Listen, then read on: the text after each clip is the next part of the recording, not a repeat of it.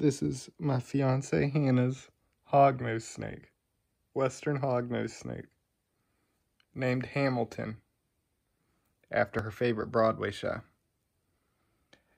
Look how cute he is.